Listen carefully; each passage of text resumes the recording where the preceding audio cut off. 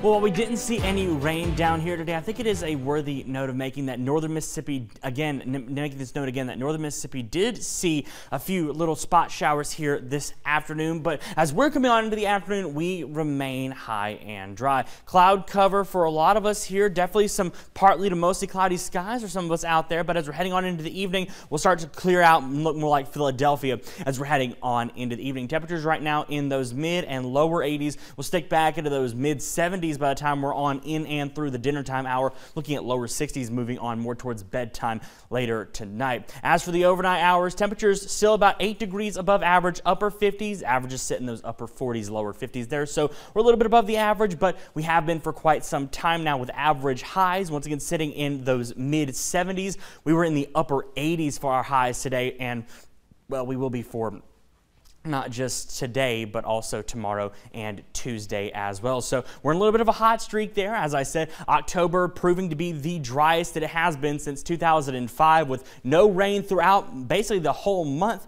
thus far for most of central Mississippi. But as we're coming into the next few days, we will see rain increase, but not for Monday. Temperatures start out in those upper 50s, so a little bit warmer than what we have been. But as we're coming on through the day, upper 70s through that lunchtime hour, mid 80s, mid and upper 80s again tomorrow tomorrow for our highs. Sunny to mostly sunny skies throughout the day. Those clouds rolled through today because of that cold front that rolled through. We didn't really see any cooling off because of that, but as we're moving through the next few days, we do still see plenty of sunshine, sunny to mostly sunny skies as we're heading through the first part of the work week. Now, I don't need to remind you of the drought monitor. This one came out Thursday. Still very dry out there. Northern Mississippi did get those showers, but probably didn't do much to, to make a dent in this most in this moderate to severe drought pattern they're seeing up there, as well as down here in central Mississippi. Still seeing that abnormally dry condition. Same with southern parts of Mississippi as well. Now, I did mention rain in the forecast. It's not going to be the drought buster we need, but I'll go ahead and scroll through. Sunday, Monday, Tuesday,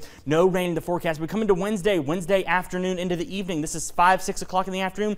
We do see this, which not much, but it does give us some hope for the next day, which is Thursday. Here's where we could see that rain. Another cold front rolls through, and as it does, brings rain in in the afternoon. This is from 2 o'clock 2 on into the evening there. This is now 9 o'clock by Thursday evening. We are seeing that rain pull through on through Friday morning, but it does let off by Friday afternoon. So we do have that chance of rain. It's not going to be the drought buster we need, but it does provide some moisture in the ground. As for the tropics, things are starting to kick back up just a little bit. We got that one area of interest right there with a 40% chance of development over the next seven days. So we'll continue to monitor that. As for your next seven days, Temperatures over the next few days still in those mid and mid upper 80s there. Chance of rain on Wednesday, Thursday, and Friday. See that back off there with the temperatures back down to the low 80s Thursday and Friday because of that cold front rolling through. But we're back in the mid 80s with mostly sunny skies by Saturday and onto this coming Sunday.